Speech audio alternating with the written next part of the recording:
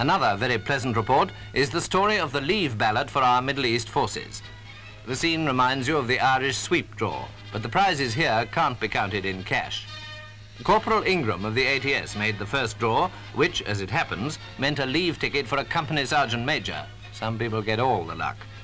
A number of ATS girls did the drawing, and I'll bet the whole proceeding was quite as exciting as any sweepstake there's ever been.